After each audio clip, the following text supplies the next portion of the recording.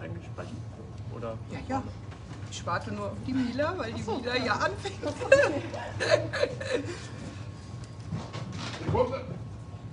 Ja.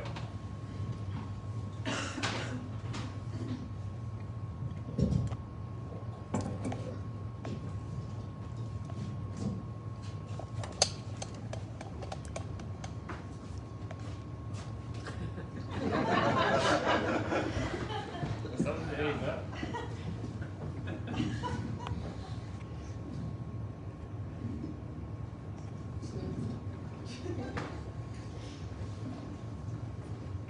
Hallo, hallo. Okay, das funktioniert. okay, dann ähm, hallo, herzlich willkommen. Schön, dass ihr alle da seid. Ähm, sorry. ja, also ich, äh, ich bin die Mila. Ich habe so ein paar Informationen, bevor ich gleich an die Svenja weg weiterreiche. Zum einen ähm, habt ihr alle mitbekommen, wir haben hier keine Maskenpflicht, trotzdem ein bisschen Abstand halten, aufpassen, nett sein. genau, dann einmal zu ihrer Linken, zu ihrer Rechten. Da ist ein Getränkebar, da können Getränke käuflich erworben werden, Kaffee gegen eine kleine Spende. Ähm, ja, was Sie dann beim Vortrag genießen können. An der Stelle auch nochmal ein kurzes Dankeschön an den Amsterdam, dass ihr das so toll und so schnell und so unkompliziert noch eben organisieren konntet. Top. Dankeschön.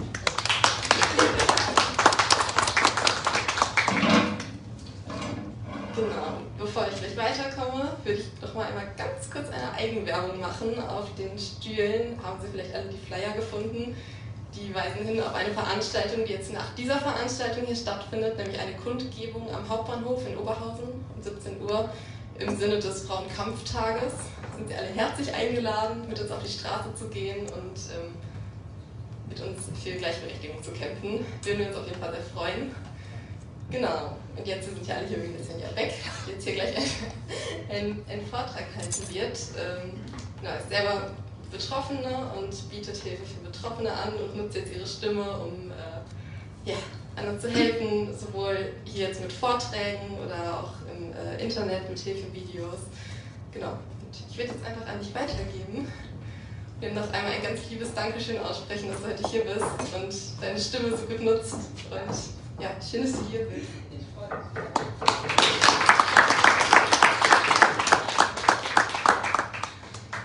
Ja, hallo erstmal. Viele kennen mich schon, ich bin die Svenja Beck. Ähm, ich habe heute ein nicht so schönes Thema mitgebracht, aber ein Thema, was auf jeden Fall angesprochen werden sollte. Ähm, es geht um narzisstischen Missbrauch. Ähm, es gibt sehr, sehr viele Menschen, die das erleben müssen. Viel, viel mehr Menschen, als ich jemals gedacht habe, die es erleben müssen. Äh, ja, ich war selber Betroffene und möchte mich einfach mal vorstellen. Also, ich bin 36 Jahre alt und ähm, mein Leben ist eigentlich ganz normal verlaufen bis im Jahre 2012. Ich war sechs Jahre lang verheiratet, habe zwei gesunde, wunderbare Kinder bekommen und 2012 im August hat mein Ehemann entschieden, sich von mir zu trennen, hat mich mit zwei Kindern, zwei Hunden, zwei Katzen, einer riesen Wohnung und allem drum und dran alleine gelassen. Und da war ich dann in einem Loch, in einem ziemlich starken Loch für mich, weil für mich war die Ehe heilig. Ich bin ein sehr gläubiger Mensch. Ich habe immer gesagt, wenn ich mal heirate, dann heirate ich nur einmal. Und dementsprechend war meine, ja, meine Enttäuschung über das Aus der Ehe sehr stark und ich war sehr am Boden zerstört. Und dann kam ein junger Mann, der wunderschön aussah, groß war, den Beschützerinstinkt hatte, den ich dann kennengelernt habe und der dann genau in dieser Zeit kam, als es mir nicht gut ging und mir einfach nur zugehört hat. Ich habe zu dieser Zeit überhaupt nicht, äh, ja, nichts empfinden können. Ich war so in diesem Tief drin, dass ich gedacht habe, okay, er ist da, er hört mir zu, alles gut und schön, an Beziehungen war überhaupt nicht zu denken. Ich war viel zu instabil, hatte mit mir selber zu kämpfen, mit der Situation zu kämpfen. Meine Kinder hatten natürlich zu kämpfen, aber er war da. Und irgendwann habe ich aus Frust zu meinem Ex-Mann gesagt, ähm, also du hast jetzt noch eine Woche Zeit, zu mir zurückzukommen oder ich entscheide mich für eine andere Beziehung. warum auch immer ich das gesagt habe, ich kann es nicht sagen. Es war aber dann so, dass ich nach einer Woche mit meinem Ex-Partner zusammenkam. Und es war am Anfang, wie ich gesagt habe, es war kein Verliebtheitsgefühl. Er war überhaupt nicht mein Typ. Es war einfach nur, dass er da gewesen ist. Er sah gut aus, gar keine Frage. Er war auch für die Frauen total ein Anziehungspunkt. Aber es war nicht der Typ Mann, der mir eigentlich gefällt. Ich hatte auch dafür keinen Nerv, wie ich schon sagte. Aber er war da, er hat mir zugehört. Ich konnte mich ihm komplett öffnen, was im Nachhinein natürlich mein Fehler gewesen ist. Oder nicht mein Fehler, aber es war das, was mir das Genick dann gebrochen hat. Und äh, vier Wochen später waren wir auf einem ähm, Festival bei uns in meiner Heimatstadt und er hatte Nachtschicht und ist dann in, auch in die Nachtschicht gegangen und auf einmal habe ich gemerkt, was ist jetzt hier los? Mit mir stimmt irgendwas nicht. Ich konnte keine Freude mehr alleine haben. Ich war wie ausgewechselt. Ich war mit meiner Schwester dort, mit unseren Freunden dort und auf einmal habe ich gesagt, ich muss hier raus, ich will nach Hause, zu ihm nach Hause. Ich, will, ich hatte das Gefühl, ich wollte ihm irgendwie nah sein, aber auch so dieses Gefühl, ich enttäusche ihn, wenn ich weiter alleine hier auf dem Fest bleibe. Ich kann es nicht beschreiben. Es war so ein Moment, an dem ich schon wusste, das war Ende September, Ende August sind wir zusammengekommen, wo ich gemerkt habe, hier stimmt irgendwas nicht. Irgendwas verändert sich gerade voll bei mir. Und da habe ich schon gemerkt, ich, irgendwas ist komisch. Meine Schwester sagte dann zu mir, Svenja, du veränderst dich irgendwie, du bist nicht mehr so fröhlich, so wie du immer gewesen bist. Und ich konnte das überhaupt nicht zuordnen. Ja, ähm, das war so der Beginn, wo ich gemerkt habe, mit mir stimmt was nicht oder also ich verändere mich. Ähm, das Ganze hat dann seinen Lauf genommen, ähm, ja, mit dieser Mikrogewalt, die da immer wieder vorgekommen ist, die ich aber natürlich noch überhaupt nicht wahrgenommen habe oder auch noch nicht gesehen habe bis dann ähm, Anfang November ich mir, wie viele wissen von den, von den Internetvorträgen ähm, schon, ein paar Schuhe gekauft habe in einem Einkaufszentrum, die Schuhe ihm nicht gefallen haben und ich dann meine erste Ohrfeige hatte. Und das war dann der Punkt, wo ich gesagt habe, okay, bis hierhin und nicht weiter, ich bin weg. Ich war dann natürlich nicht weg. Ähm, er hat mich dann so um den Finger gewickelt, sich hundertmal entschuldigt, das kommt nie wieder vor, er weiß nicht, was in ihn gekehrt ist. Und da war ich dann in dieser Abhängigkeitsspirale, die ich Ihnen heute auch erklären möchte. Denn es gibt ganz, ganz viele Menschen da draußen, die einfach auch nicht verstehen, dass Menschen, die in dieser Spirale drin sind, die ich auch heute mal mit ausgedruckt habe, die es eigentlich in ganz kurzen Abständen, die ich Ihnen heute aber auch nochmal genauer erklären werde, erklärt, ähm, dass man da nicht mehr so einfach rauskommt. Es gibt Menschen, die sind Jahrzehnte in dieser Spirale gefangen. Es gibt Menschen, die sind ihr ganzes Leben darin gefangen. Ich war fünf Jahre darin gefangen. Ich habe zwei Femizidversuche hinter mir. Mein, mein Ex-Partner hat 2014, äh, nee, 2013 versucht, mich mit dem Auto zu überfahren. Und 2016, als mein kleiner Sohn acht Wochen alt war, mich zu erwürgen. Und auch da konnte ich den Absprung nicht schaffen. Und es gab viele weitere ähm, Momente, wo es eskaliert ist und wo ich ganz, ganz viel Glück habe, dass ich heute noch hier stehen darf und zu Ihnen sprechen darf. Und mir ist einfach ein Anliegen gewesen, als ich nach drei, drei Jahren erfahren habe, dass ich mich in, einem, in einer narzisstischen Missbrauchsbeziehung befinde, was ich alleine rauskriegen musste. Ich war davor 13 Wochen lang in einer teilstationären Klinik. Niemand hat dieses Thema auch nur in den Raum geworfen oder ähnliches war der erste Impuls nicht, ich muss da raus, sondern der erste Impuls war, wenn ich hier rauskomme, muss ich in die Welt und das aufklären. Ich dachte es natürlich im kleinen Kreis, dass das irgendwann mal so eine Welle schlägt, wie es jetzt bei uns auch in Facebook und im Internet geschlagen hat, hätte ich niemals gedacht, weil ich niemals gedacht habe, dass so viele Betroffene es in diesem Land auch gibt und auch in der Schweiz und in Österreich. Und das ist einfach der Grund, warum ich Ihnen das heute ähm, hier mitteilen möchte, warum ich hier bin und ja, es liegt mir so am Herzen, andere Menschen die Zeit zu schenken, dass sie vielleicht weniger Zeit brauchen wie ich, da rauszukommen. Weil jeder Mensch einzigartig ist und weil jeder Mensch verdient hat, ein normales Leben zu führen. Und ich kenne den Unterschied zwischen dem, was ich fünf Jahre lang geführt habe und zu heute. Und das möchte ich einfach an Sie weitergeben. Ja, das war kurz meine Vorstellung ich möchte auch noch mal sagen, dass es jeden Menschen treffen kann. Es ist nicht so, dass es Menschen treffen kann, die aus unterer Schicht kommen oder man sagt ja immer Menschen, die intellektuell nicht so gebildet sind, die trifft es eher. Das ist überhaupt nicht der Fall. durch unsere virtuelle Selbsthilfegruppe, die mittlerweile 6000, knapp 6450 Mitglieder hat, wissen wir alle, dass es so viele wunderschöne Menschen sind, von herzliche Menschen vor allen Dingen, Menschen, die so viel Empathie haben und die aber auch so authentisch sind und auch ja, gebildet sind. Ja? Also es ist, geht durch jede Schicht durch. Das ist nicht so wie behauptet, dass es oftmals ja auch von, von öffentlichen Stellen, ja, das ist untere Schicht, das ist nicht der Fall. Häusliche Gewalt kommt in allen Schichten vor. Überall und überall auf der Welt leider. Ähm, wie erkenne ich denn den narzisstischen Missbrauch? Das ist immer, da sollte man, wenn man eine Beziehung beginnt, egal welche Art von Beziehung, das muss nicht mal eine Liebesbeziehung sein, das können alle Arten von Beziehungen sein. Ob das eine Beziehung ist, ähm, die ich mit einem Arbeitgeber habe, ob das eine freundschaftliche Beziehung ist. Man muss immer darauf achten, dass der Mensch, der einem gegenübersteht, respektvoll mit einem umgeht. Ja, das ist ganz, ganz wichtig. Und wenn Ihr Bauchgefühl sagt, da ist kein Respekt vorhanden, dieser Mensch wertet mich ab oder dieser Mensch schaut von oben auf mich herab, dann beenden Sie diese Beziehung für sich selber. Ähm, Sie blenden oftmals nach außen mit gutem Aussehen, mit charismatischen Bemerkungen.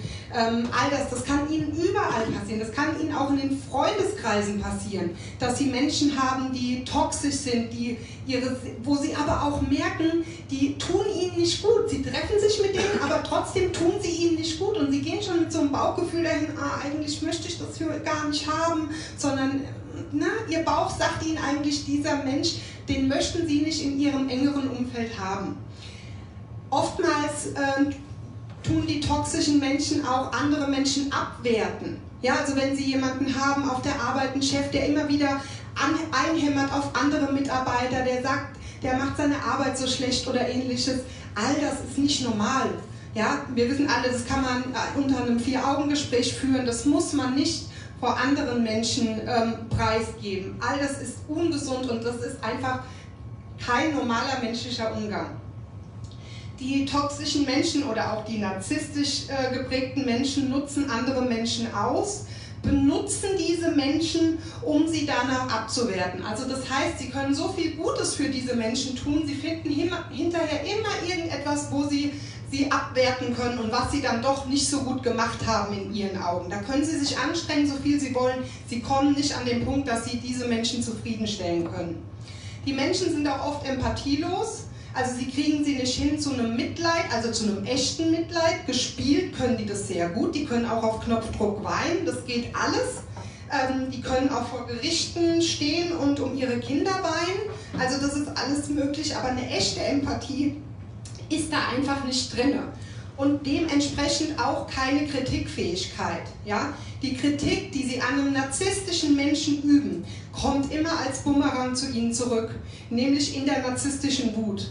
Und die narzisstische Wut ist, da kriege ich sofort Gänsehaut, Sie sehen es vielleicht hier im Licht, ist das Schlimmste, muss auch ich wieder schlucken, das Schlimmste, was sie jemals erleben können bei einem gegenüberliegenden Menschen. Ich vergleiche das immer mit so einem Löwen, der still vor ihm steht und auf einmal ausbricht und sie zerfleischen will und sie wissen gar nicht, was haben sie jetzt eigentlich gemacht.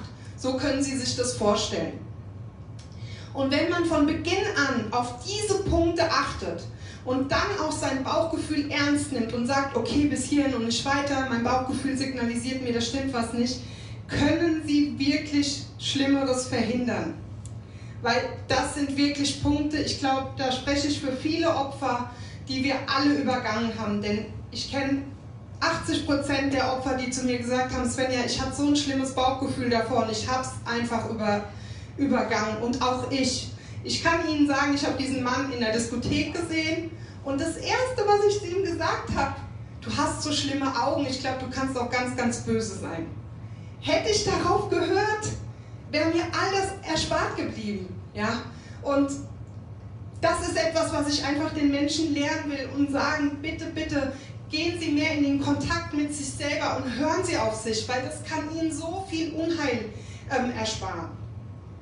Ja, ich habe Ihnen, hier, wie gesagt, mal die Spirale aufgezeichnet, die ich, auf die ich ja jetzt auch nochmal eingehen möchte. Ähm, die Gewaltspirale hat die Phase 1, ähm, die Lovebombing-Phase da komme ich auch gleich nochmal näher dazu.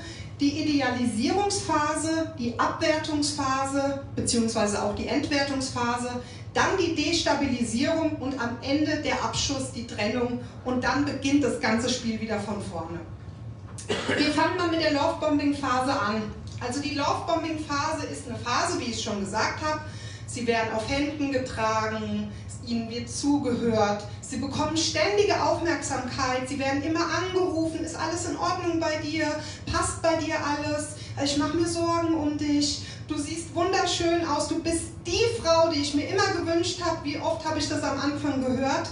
Ähm, wir sind seelenverwandt, es sind immer die gleichen Sprüche, also ich sehe es hier auch in der ersten Reihe, es sind immer die gleichen Sprüche, ob das irgendwo auf Sylt ist oder ob das unten in Bayern ist, es sind immer die gleichen Sprüche. Und durch diese rosarote Brille, die Sie aufgesetzt bekommen, gehen Sie automatisch in eine psychische Abhängigkeit. Denn das ist ja das, was jeder Mensch grundlegend auch haben möchte. Eine Bestätigung, dass er geliebt wird, dass er gern gehabt wird. Und oftmals sind die Opfer, die danach sich als Opfer aus, rausstellen, sind Menschen, die eh ihr Leben lang ähm, darauf gucken, dass sie Liebe bekommen, die sehr empathisch sind, die Menschen ganz, ganz viel geben, aber so wenig zurückbekommen haben, aber sich auch mal wünschen, geliebt zu werden. Ja? Und genau das ist es, warum es so wichtig ist, darauf zu achten, weil darauf sind die hinaus. Die, die merken intuitiv schon, wenn sie sie sehen, kennenlernen, dass sie ein empathischer Mensch sind, weil sie eine ganz besondere Ausstrahlung von Wärme haben. Ich kann Ihnen die nicht beschreiben, ja, ich bin kein Energiemensch, der das da irgendwie erklären kann, aber ich kann Ihnen sagen, das ist, hat eine unwahrscheinliche Energie auf diese Menschen. Ich werde es nie vergessen, ich, als er mich das erste Mal gesehen hat, stand er in der Diskothek eine Dreiviertelstunde lang in so einer Ecke und hat mich betrachtet. Und ich habe gedacht, also es war mir schon unheimlich, ja. Und dann stand er vor mir, ach, du bist so schön, du bist so schön, wo ich gedacht habe, hä? Also es ist einfach so extrem von Anfang an. Ja, aber es ist auch das, wonach wir uns als Menschen sehen, nämlich gesehen zu werden, geliebt zu werden. Ähm, aber auch diese Liebe ist oberflächlich liebevoll, ja, weil darunter verbirgt sich was ganz anderes. Meine Therapeutin hat mal einen Spruch gesagt, den ich auch immer ganz gerne sage, wobei er nicht so ganz, ja. Er, sie sagte immer zu mir, das ist mit Zuckerguss überzogene Scheiße, ja. Sie hat damit nicht Unrecht. Sie hat mich damit immer auch so ein bisschen zum Lachen gebracht, wenn ich in so einer Situation war, wo es mir nicht so gut ging. Aber es ist so. Die obere Hülle ist schokoladig, die ist zuckrig, die ist lecker und unten drunter ist ganz, ganz viel Mist und ist ganz viel, was einen selber kaputt macht. Äh, da ist auch das Sprichwort ganz angebracht, mit Speck fängt man Mäusen, nämlich mit dieser Lovebombing-Phase kriegt er sie dahin, wo er sie nämlich hinbekommen will. Dann kommt, wie gesagt, die Idealisierungsphase. Also wir sind jetzt erstmal beim Einlullen gewesen. Die Idealisierungsphase sieht so aus. Da kommt nämlich dann der Punkt, du bist meine Traumfrau, mit dir stelle ich mir mein Leben vor, ich möchte dich heiraten, mit dir möchte ich Kinder haben, mit dir möchte ich Häuser bauen. Ähm, ganz auffällig in der Idealisierungsphase ist, dass die Ex-Freundinnen abgewertet werden. Die Ex-Freundinnen waren nie das, was er sich gewünscht hat. Die hatten alle Mangos, die sie sich vorstellen konnten. Also das ist auch gerade in der Idealisierungsphase immer wieder ein Punkt, wo man drauf hören kann. Da kann man hellhörig werden. Ähm, wenn die Ex-Freundin, klar, hat jeder mit seinen Ex-Partnern Probleme gehabt, sonst wäre man ja noch zusammen. Aber es ist dann immer so, dass da nichts Positives hängen bleibt. Und dann kommt die... Ähm, die Abwertungsphase, tatsächlich diese Entwertungsphase. Und das ist etwas, das ist ad hoc. Ja? Also Sie, Sie haben heute einen wunderschönen Tag, Sie sind in der Altstadt, Sie sind was trinken, stehen auf und der ganze Tag ist wie verändert. Das kann man als normal denkender Mensch nicht beschreiben. Es ist aber so. Die stehen auf, bei denen legt sich ein Schalter im Kopf um und die sind wie ausgewechselt. Und bei dieser Entwertungsphase fängt die Fassade einfach an zu bröckeln. Und wir als normale Menschen, die ja total noch verliebt sind und, äh, oder uns dann verliebt haben, weil er eben so liebevoll auch zu uns war, dann bröckelt das alles und man versteht die Welt nicht mehr und denkt, was ist denn jetzt los? Und wo sucht man als erstes den Fehler? Den sucht man bei sich selber. Was habe ich falsch gemacht? Was hätte ich besser machen können? Was habe ich denn jetzt gesagt, was den verletzt hat? Also man kann das überhaupt nicht greifen. Was ist denn jetzt passiert? Er hat doch gerade noch sein, seine Cola getrunken, wir haben was gegessen, es war schön und jetzt ist es einfach, die ganze Stimmung ist komplett gekippt. Und dann fängt man an, sich hinten anzustellen. Dann findet er irgendwas, ja, du hast äh, nach anderen Männern geguckt, das war immer so der Spruch, den ich mir immer anhören durfte. Du hast nach anderen Männern geguckt, du hast ihm schöne Augen gemacht ähm, oder ihm hat Essen nicht geschmeckt. Und dann fängt man immer an, man ist schon in dieser Position drin, dass man diesen Menschen beruhigen will. Man spürt schon intuitiv, dass das eskalieren könnte, obwohl man vielleicht am Anfang noch gar keine Eskalation erlebt hat, aber man spürt es und man ist so hippelig und denkt, oh mein Gott, ich muss den jetzt beruhigen und man fängt an, sich hinten anzustellen. Das ist auch wieder ein Kreislauf, wo sie sich hinten anstellen, wo sie spüren, ähm, der tut sich in den Vordergrund ähm, drängen und sie stellen alles, wenn sie jetzt zum Beispiel gesagt, also nur als Beispiel, sie sind essen und wollten danach noch einen Spaziergang machen. Und der ist so schlecht drauf und sagt, ah, ich habe da keinen Bock drauf, ich gehe jetzt heim, dann gehen sie mit heim. Ob sie sich auf den Spaziergang gefreut haben hinterher oder nicht, das ist ganz egal. Sie werden mit nach Hause gehen. Und da fängt es an. Sie werden nicht mehr das, was sie möchten oder was sie vielleicht auch als Paar gemeinsam entschieden haben, in den Vordergrund stellen, sondern sie werden nur noch das in den Vordergrund stellen, was er möchte. Und da hat er sie schon. Ja? Ähm, und wenn Sie dann da schon anfangen zu kritisieren, wenn Sie jetzt beispielsweise sagen, ja, aber wir wollten doch noch spazieren gehen, jetzt, dann reagiert er allergisch. Und dann ist es auch meistens so, dass die ähm, ganze Situation schon eskaliert, weil er sich angegriffen fühlt. Und das fördert die narzisstische Wut. Wenn er sich in irgendeinem Punkt angegriffen fühlt oder übergangen fühlt oder er weiß ja, dass er versprochen hat, spazieren zu gehen oder dass es abgemacht war. Und er setzt es extra ein, dass es nicht stattfindet. Und dann wird er dafür kritisiert. Dann schlägt es um in, in narzisstische Wut, die sich ganz verschieden äußern kann, aber in allererster Linie erstmal wirklich auf diese psychische Ebene geht, wo sie runtergebuttert werden über Stunden, wo sie schlecht gemacht werden, wo alles gesagt wird, was man überhaupt nicht in Worte ausdrücken kann, weil es so schlimm ist, wo, wo man auch nicht mit rechnet nach diesen beiden anderen Phasen. Ja? Ähm, die Destabilisierung ist wirklich, sind so zwei Worte, die man nehmen kann. Das ist die Abwertung und die Aggression, die man verbal, aber auch körperlich zu spüren bekommt. Und die Abwertung ähm, erreicht ihren Höhepunkt, ähm, in Demütigung, also ich habe das erlebt, selber nach, äh, bevor das passiert ist mit diesem, dass äh, er versucht hat, mich mit dem Auto zu überfahren, hat er in einem Indoor-Spielplatz zweieinhalb Stunden mich so verbal attackiert, ich kann Ihnen kein Wort davon mehr sagen. Das verdrängt auch das Bewusstsein komplett. Also das ist ein ganz normaler Automatismus, dass es verdrängt wird. Das ist die, der Schutz der Seele. Aber es war eine Frau, eine Psychologin, die nebendran gesessen hat, die mir damals ihre Karte gegeben hat, weil die schon gewusst hat, es wird danach was ganz Schlimmes passieren und ich brauche diese Karte, um der Polizei vorzulegen, dass sie praktisch für mich aussagt. Und die Frau hatte recht, ja. Er hat ja dann im Ausgang versucht, mich mit dem Auto zu überfahren, weil ich nicht schnell genug für ihn ins Auto eingestiegen bin. Ich hing dann mit einem Bein im, im, im Auto drin und mit dem anderen kam ich nicht so schnell nach und er hat den Rückwärtsgang und ist nach hinten gefahren und ich hing halt im Auto und mein, das Schlimmste war, dass mein Kind da drin gesessen hat, meine kleine dreijährige Tochter, ja.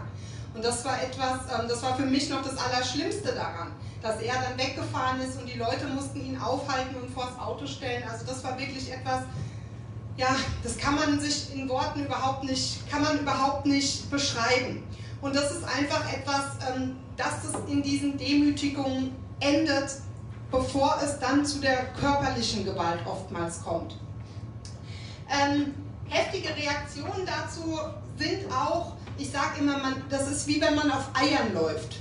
Also sie sind den ganzen Tag im Alltag dann angespannt, was tun sie, was machen sie, wenn er heute nach Hause kommt, ist das Essen recht, ähm, ist es recht, äh, wie die Wäsche gewaschen ist. Bei mir waren es dann heute, heute wiederum wegen den Hundehaaren auf dem Boden oder es war immer irgendwas, was die gefunden haben.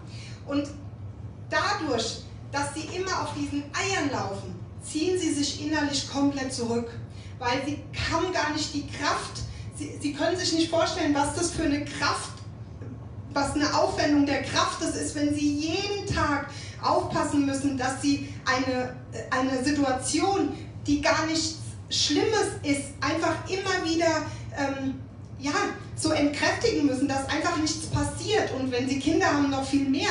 Ja, dass der Mensch nicht ausrastet, dass er weder verbal noch körperlich ausrastet. Und sie versuchen alles und trotzdem passiert es immer wieder. Also das kann man sich einfach als normal denkender Mensch auch überhaupt nicht vorstellen, wie schlimm das ist und wie viel Kraft es letzten Endes auch kostet. Und die letzte Phase ist dann, wenn er merkt, dass sie komplett am Boden sind, wenn gar nichts mehr geht, wenn ihre Kräfte nachlassen, dann kommt die Trennungs- und die Abschussphase. Und durch diese Lovebombing-Phase, durch diese Idealisierung und Lovebombing-Phase hat er sie aber so dermaßen von sich abhängig gemacht, dass die größte Angst von uns Empathen ist, dass sie verlassen werden könnten, dass sie das, was sie am Anfang denken, bekommen zu haben, wieder verlieren in ihrem Leben. Und ich war damals, ich kann es nicht beschreiben, ich, ich habe auf Knien vor denen gelegen und habe gesagt, bitte, bitte, bitte verlass mich nicht. Ich kriege Gänsehaut, weil ich, heute kann ich es nicht mehr verstehen, aber ich weiß, wie schlimm sich das angefühlt hat. Ich habe gedacht, Gott verlässt mich. Ja, also es war wirklich wie wenn, der, meine Mutter hat immer zu mir gesagt, das ist wie wenn das ein Gott für dich wäre. Du hast den hörig. Ja, und so war es auch. Und auch diese Art und Weise, man kann es dann nicht verstehen. Man denkt ja dann weiter und denkt zurück und denkt, mein Gott, was habe ich denn getan, dass er mich jetzt auch noch verlässt? Ja? Also man kann einfach auf nichts zurückgreifen, wo sie auch wissentlichen Fehler gemacht haben. Das Ganze ist, das nimmt so viel Kraft in Anspruch und das ist einfach ein Kreislauf ohne Lösungen, denn wenn er das erreicht hat, dass er sie verlassen hat, dann ist er meistens in der Position, dass er sich einen neuen Wirt sucht. Ja? Er sucht sich dann eine neue Partnerin oder eine neue Sexualpartnerin. Bei mir waren es in fünf Jahren ungelogen neun Stück, von denen ich weiß. Die Dunkelziffer ist mir nicht bekannt, die will ich auch gar nicht wissen. Es reicht schon, dass der ganze Kindergarten meines Sohnes Bescheid weiß, wo er überall Sexualtaten getrieben hat. Das ist schon für mein Kind, ja, also wenn wir Kinder mit diesen Partnern haben, das spricht sich ja auch rum aber es ist einfach wiederkehrend. Und wenn er dann seinen Trieb wieder ausgelebt hat, dann fängt das Ganze von vorne wieder an. Weil dann kommt er ja zu ihnen zurück und es tut mir leid und ich habe einen riesen Fehler gemacht und du bist doch die Frau meines Lebens und du weißt doch, wir sind doch Seelenverwandte und dann beginnt das ganze Spiel von vorne. Ruckzuck sind sie wieder in diesem, sie müssen immer wissen, ein narzisstischer Missbrauch trifft die gleichen Stränge im Gehirn wie eine Drogenabhängigkeit, wie eine Alkoholabhängigkeit. Das sind exakt die gleichen Gehirnzellen, die da angetriggert werden. Und sie sind sofort, wie bei einem Alkoholiker, der Alkohol, einen Alkoholschluck trinkt, sind sie sofort wieder in dieser Materie drin. Und das ist dieser ganze Kreislauf. Und das Schlimme daran ist diese Mikrogewalt. Ja, das sind ja immer wiederkehrende Nadelstiche, die da die Seele auch schwer verletzen. Ja, bei mir fing das an, ich weiß es noch, ich konnte damals nicht gut kochen und habe mit Maggi Fix-Tütchen gekocht, ja, jahrelang, das war mir auch immer egal, bis er irgendwann ein Telefonat mit seiner Ex-Partnerin hatte, das ich mitgehört habe, und sagte zu ihr, knallhart neben mir am Telefon, naja, die Frau fürs Leben ist das nicht, weil die kann nur mit Maggi Fix-Tütchen kochen. In diesem Moment, das waren Stiche für mich. Ich kann heute super kochen, ja, das ist für mich heute eine Bereicherung, aber dieses, wenn ich heute in den Supermarkt gehe und laufe an den Magifix-Tütchen vorbei, kommt es immer. Ja, und es bleibt, diese Verletzungen bleiben. Und das ist das Schlimme, das kriegen sie nicht mehr raus.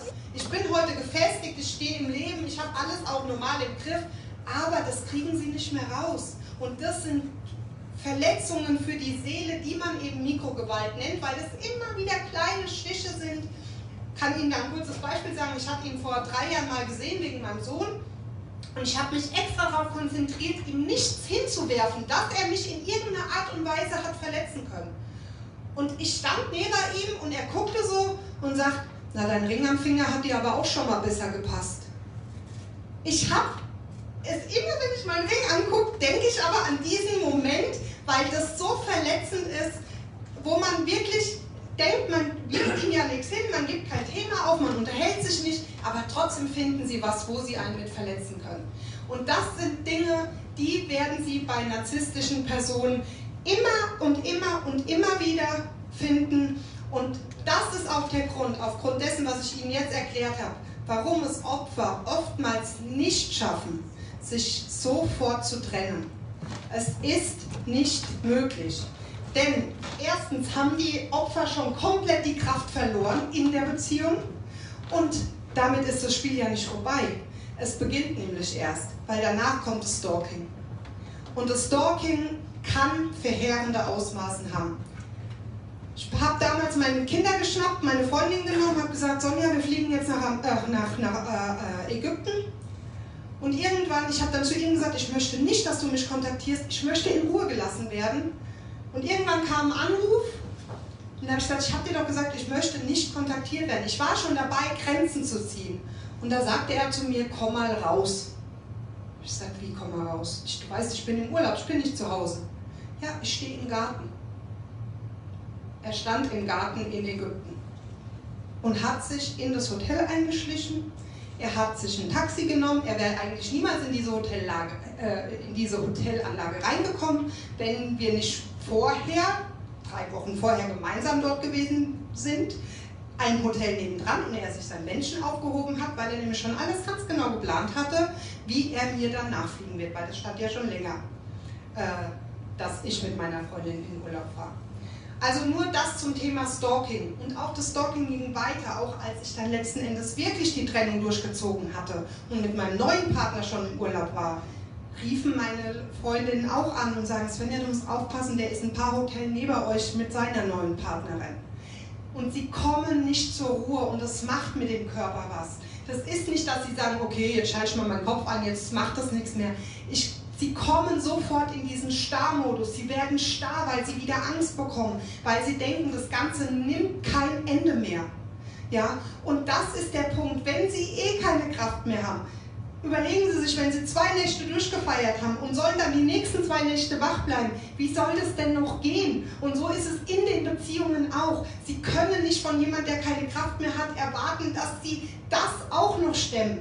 Darauf muss sich gut vorbereitet sein, äh, muss man sich gut vorbereiten. Und dazu braucht man auch die Hilfe von außen. Und oftmals ist es so, und da muss ich schon wieder aufpassen, dass ich nicht emotional werde, weil von außen kriegt man noch mehr eine auf den Deckel. Ja, von Jugendämtern, von Polizei, von, ähm, von, von Verfahrensbeiständen, die für die Kinder zuständig sind, von Richtern. Niemand ist aufgeklärt darüber. Und niemand will aber auch hingucken. Und das kann ich nicht verstehen, weil es so viele Betroffene sind. Und ich kann auch nicht verstehen, dass diese Leute, die betroffen sind, die immer das Gleiche erzählen, dass nicht irgendwann mal einer sagt, das stimmt doch was nicht, wenn immer alle das Gleiche erzählen, muss doch auch mal was dran sein. Ja, das ist das, warum ich das mache. Und ähm, ich kann dazu nur sagen, ich als Person bin komplett verschwunden. Mich gab es nicht mehr. Da bin ich auch ganz ehrlich. Ich weiß, es kann sich keiner heute vorstellen, und das ist immer wieder Thema, auch bei mir auf Geburtstagen, dass dann neue Freunde und meine alten Freunde zusammenkommen und sagen, ja, die Svenja, die wir jetzt sehen, die gab es aber damals nicht. Ich wusste nichts mehr von mir. Ich wusste weder, dass ich gerne ins Stadion gegangen bin, ich wusste, dass ich gern getanzt habe, dass ich mich mal schön gemacht habe. Es war alles weg. Ich habe ein Trennungsverarbeitungsbuch, was ich auch jedem ans Herz lege zu führen alles aufschreiben müssen. Was ist mir heute gut gelungen? Ich bin heute 10 Kilometer gefahren. Ich habe heute ähm, mich duschen können, weil mir die Kraft zum Teil zum Duschen gefehlt hat. Also ich musste mich komplett neu finden in dieser Situation, wo ich aber auch praktisch auf kaltem Entzug war. Denn wenn man sich trennt von einem Narzissten, ist man erstmal auf einem kalten Entzug, weil es vom Kopf, wie ich schon sagte, das gleiche einfach einhermacht, wie eine, wie eine Drogenabhängigkeit. Und ich wusste einfach nicht mehr, wer ich war, was ich bin, was mir eigentlich wichtig war. Ja, all das war weg und all das musste ich wiederfinden. Und dann kam natürlich noch diese große Schuldfrage dazu. Ich bin schuld, ich habe mir immer die Schuld gegeben. Ich konnte ihm nicht helfen, ich konnte ihn nicht retten, ich habe ihn nicht genug geliebt, ich habe alles falsch gemacht. Hätte ich das so und so und so gemacht, dann wäre es nie passiert bis ich kapiert habe oder bis ich die Bücher gelesen habe, die ich Ihnen auch hier aufgelistet habe, die mir die Augen geöffnet haben und wo ich langsam lernen konnte, dass egal was ich getan hätte, ich niemals es ihm hätte recht machen können. Und dazu kommt ja dann noch, dass der Narzisst von Anfang an, oder die Narzisstin, ich muss ja beides benennen, ähm, ein Konstrukt von Lügen aufbaut. Die Lügen, die Lügen, die sie glauben, weil so lügen kann kein normaler Mensch wie diese Menschen lügen. Wenn die Guten Morgen sagen, ist es gelogen, dann muss man rausgucken, ob es Abend ist, ja? Weil es so exakt richtig gelogen ist, dass sie nicht mehr auf die Idee kommen, dass es gelogen sein könnte. Aber auch da wieder, das Bauchgefühl zeigt es euch. Ganz kurzes Beispiel, wir waren nicht mal drei Tage zusammen, wir waren auf dem Geburtstag und ich habe gesagt, das ist komisch. Es war eine ganz normale Familie auf dem Geburtstag, wo wir waren. Ja, es war nichts Außergewöhnliches. Nur sie hat ihn so komisch angeschmachtet. Ich sage, da stimmt doch irgendwas nicht. Wer denkt es? Sie sind drei Tage mit jemandem zusammen und gehen irgendwo, da sind sie frisch verliebt oder ja.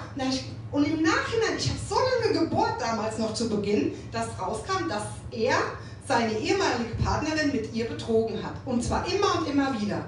Also mein Bauchgefühl, ich hatte gar keine Anzeichen, außer dass die ihm komisch guten Tag gesagt hat.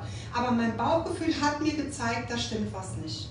Ja? Und wenn ihr darauf achtet, dann werdet ihr eigentlich immer die Wahrheit für euch bekommen, weil es so ist, dass euer Bauchgefühl euch nicht trügt. Dann kommt natürlich diese Crazy-Making-Phase. Eine ganz, ganz schlimme Phase. Das ist die Phase, wo denkt, sie wird verrückt. Klassisches Beispiel, Sie haben Ihr Schlüssel ans Schlüsselbord gehalten, äh, gehangen und abend, äh, morgens wollen Sie Ihren Schlüssel nehmen, der Schlüssel ist nicht da. Sie wissen aber, Sie haben den da hingehangen. Dann rufen Sie ihn an, ja bist du denn bekloppt, weißt du nicht mehr, wo du deinen Schlüssel hingelegt hast? Und er hat ihn aber extra verlegt. Und so viele Fälle gibt es davon. Ja? Wir waren mal, ähm, auch ein kurzes Beispiel, einfach, dass Sie es ein bisschen ich wusste, dass es falsch ist, habe es aber gemacht, um keinen Streit zu haben. Und natürlich sind wir ewig weit gefahren und haben uns dann noch im Wald verlaufen, so dass das ganze Ding Feuer gefallen hat. Und Gott sei Dank mein Sohn von der Schule kam, sonst wäre die ganze Hütte abgebrannt. Aber es war nur meine Wohnung. Bei ihm wäre das niemals gewesen. Ja, also nur so als Beispiel. Ich wusste genau und er hat gesagt, nee, nee, nee, brauchen wir nicht. Und hinterher hat er mir die Vorwürfe gemacht, ja, warum hast du nichts gesagt? Hätten wir den Ofen ausgeschalten? Also so dieses typische, hä, ich habe doch eigentlich, und dann doch wieder, ah ja klar, ich habe es dann doch nicht gesagt, hätte ich es lieber mal gesagt. Ja, also sie werden verrückt im Kopf, weil sie gar nicht mehr wissen, was sie richtig oder falsch machen. Das nur mal so als Beispiel. Und dadurch, wenn dann diese Crazy-Making-Phase angefangen hat, werden sie immer, sie, sie werden immer isolierter. Sie denken, oh Gott, der denkt schon, ich habe sie nicht mehr alle Latten am Zaun, da kann ich schon denken, ich habe einen Knall. Und so bin ich auch rumgelaufen. Ich bin nur noch so gelaufen. Ich weiß noch, kurz bevor ich mich wirklich letztendlich getrennt habe, war ich in Erbach bei uns auf dem Weihnachtsmarkt mit meiner Tante. Ich hatte äh, eine Wurst in der Hand. Ich habe gedacht, alle Leute sehen, wie bekloppt ich bin. Mir ist alles untergelaufen. Weil ich, ich habe gedacht, ich, die sehen alle, wie, wie verrückt ich bin. So hat sich das angefühlt. Also ich war neben, meine Tante hat gesagt, Svenja, du bist völlig neben der Spur. Zu mir, wenn ich irgendwas falsch gemacht habe, hat ist ja typisch für dich, bist ja ein Spatzenhirn. Wenn ich das heute höre, gehen bei mir alle Alarmglocken. Weil das hat sich so das muss man im Fernsehen irgendwo hören, muss ich ausschalten. Weil das, das tut sich so ein, in, in die Seele einmanifestieren, das kann man sich überhaupt nicht vorstellen. Und es ist natürlich auch total mit Scham behaftet. Ja, das darf man nicht vergessen. Wie viel Scham dabei ist, sich vor der Öffentlichkeit zum Teil, also es kommt ja immer darauf an, ist, wenn das ein verdeckter Narzisst ist, macht er das mehr zu Hause. Aber wenn es ein offener Narzisst ist, macht er das auch in der Öffentlichkeit. Er hatte damit kein Problem. Äh, hat sich anmachen lassen. Daran hat er sich ergötzt, an der Qual, die ich dann hatte. Ich habe Rotz und Wasser geheult, fünf Jahre lang, fast jeden Tag. Meine Kinder kannten mich nur weinend. Die kannten keine normale Mutter. Ja, weil ich mich immer wieder, weil der gemerkt hat, das nimmt mich so mit, dass ich wirklich daran zerbrochen bin, an diesem Schmerz, den er mir tagtäglich zugefügt hat. Und ich möchte aber noch mal ganz besonders auf die Narzissten diese Wut, die sie dann zu spüren bekommen, und das wissen sie irgendwann, sie wissen irgendwann, wenn dieser Gesichtszug kommt, da passiert was ganz Schlimmes. Und der ist so mörderisch, der ist zerstört, dass die, die haben eine destruktive Rachsucht für Dinge, die sie sich einbilden, die nie stattgefunden haben. Ja, sie drehen ihnen die Sachen im Mund rum, sie sagen Dinge, die nie stattgefunden haben und dafür wollen sie sich an ihnen rächen. Ja, und sie kriegen diese ganze Wut ab, obwohl sie gar nichts dafür können. Und man will dieser Wut einfach entkommen und möchte diesen Eiertanz keine Kinder mehr kriegen können, weil ich zwei verklebte Eileiter habe. Und ähm, ja, meine äh, damalige Frauenärztin gesagt hat, naja, bei Ihnen braucht man nicht über Verhütung zu reden. Das ging auch sieben Jahre gut, bis ich dann mit meinem kleinen Sohn schwanger war, der von ihm ist. Und ähm, ja, ich hatte bei meinen zwei großen Kindern schon immer Panikattacken in der Schwangerschaft durch die Hormonumstellung. Und bei Julian war es einfach so, dass er ähm, viel, dass es viel früher begonnen hat, auch durch die Situation wahrscheinlich. Und wir wollten samstags in Urlaub fliegen und freitags, also ich war dann im Sport, ich habe alles probiert, dass das Kind geht, dass ich nicht vor eine Wahl gestellt werde, behalte ich das Kind oder nicht, weil ich wollte keine Kinder mehr. Und ähm, er sagte dann zu mir, naja, deine, also freitags mittags, als wir vom Sport kamen oder beim Sport noch waren, sagte er, wir müssen noch mal in die Klinik, wir müssen gucken lassen, dass wir dir äh, Medikamente für den Flug morgen verschreiben lassen. Und dann war, war ich ja dort angebunden, dadurch, dass ich ja 13 Wochen schon vorab ähm, in, in, dieser Klinik gewesen bin. Und es war auch meine Ärztin da, Gott sei Dank. Und die hat mich dann gesehen, die hat gesehen, wie durch den Wind ich war. Und dann hat er gesagt zur Ärztin, er möchte mit ihr sprechen. Und dann hat er der Ärztin gesagt, also die können Sie hier nicht mehr rauslassen, die hat suizidale Gedanken, die muss hier bleiben. So, wir saßen auf gepackten Koffern, meine Kinder waren zu Hause, haben auf mich gewartet. Die Ärztin sah mich so zerstört, weil ich einfach Panikattacken hatte. Jeder weiß, dass man da schlecht aussieht. Und sagte dann zu mir, Frau Beck, ich kann Sie nicht mehr rauslassen, Sie müssen jetzt hier auf der geschlossenen bleiben. Und ich habe gesagt, wie auf der Ich bin doch hier um Medikamente für morgen, für den Flug. Und dann passierte das, womit er wahrscheinlich total kalkuliert hat. Als die mir nämlich gesagt hat, dass ich nicht mehr heim darf, bin ich komplett zusammengebrochen. Ich bin da auf dem Boden. Ich habe gesagt, du kannst mich doch nicht hier lassen. Meine Kinder sind zu Hause. Ich kann doch nicht hier bleiben. Und dann stand noch die Entscheidung an, bekomme ich das Kind oder nicht. Und ich wollte extra im Urlaub, dass diese Zeit überschritten ist, dass ich mich nicht mehr entscheiden muss, dass er dann halt kommt, ja. Und dann habe ich gesagt, nee. Und dann musste ich dort bleiben. Ich musste alles absagen. Sein Urlaub, er ist mit seiner Tochter am nächsten Tag in Urlaub geflogen. Meine Kinder waren dann beim leiblichen Vater. Der hat dann geguckt und ich war dann neun Tage voll stationär und nur er durfte mich auch wieder abholen. Also das kommt dazu. Nur wenn er wieder da ist und ich mich dadurch beruhigen konnte, durfte ich dann wieder gehen. Und so war es dann auch. Ich kann ihn in, diesen, in dieser Zeit musste ich mich dann entscheiden, bekomme ich meinen Sohn oder nicht. Und ich kann Ihnen sagen, ich habe mich gegen mein Kind entschieden. Ich habe mich gegen, dagegen entschieden und es ist ja Gott sei Dank so, dass man 3D-Ultraschall vor einer Abtreibung machen muss, den ich dann gesehen habe und ich gesagt habe, das ist mein Kind. Und ab diesem Moment war es mein Kind. Ich habe gesagt, ich werde für mein Kind kämpfen, bis ich umfalle. Und er wird mir diese Seele nicht kaputt machen. Und das ist etwas, das ist mir auch gelungen, aber es war ein schwerer Kampf. Aber es ist etwas, wo ich Ihnen auch zeigen möchte, wie viel Macht diese Menschen haben der hat mich in die Psychiatrie gebracht, neun Tage vollstationär. Ich, jeder, der Tavor kennt, weiß, ich habe an diesem einen Abend 2,5 Milligramm Tavor bekommen. Also dementsprechend kann man sich vorstellen, 0,5 knocken normalen Menschen schon aus. Aber 2,5 und ich durfte nicht die nehmen, sondern da war jemand neben dran gesessen. Da musste ich die Zunge hoch und runter machen, ob ich die auch genommen habe oder nicht. Also das ist wirklich etwas, ja, und dass man dann Angst hat vor diesen Menschen, ich glaube, das wundert keinen. Also jeden normalen Menschen, den man hört und dem man das erzählt, kann ich mir nicht vorstellen, dass es einen wundert, dass man dann letzten Endes auch Angst davor hat. Und wer trägt letzten Endes wieder die Schuld? Hättest du das oder das nicht gemacht, wäre es nicht so weit gekommen. Das war immer der Spruch, den er gebracht hat. Hättest du mich nicht provoziert, hätte ich dich nicht geschlagen. Hätte, hättest du mich nicht bloßgestellt, hätte ich dich nicht versucht, mit dem Auto zu überfahren. Er hat sich nämlich bloßgestellt gefühlt von der Frau, die mich angesprochen hat und mir ihr Visitenkärtchen gegeben hat, was er aber zweieinhalb Stunden vorher alles gemacht hat. Das war nicht mehr relevant.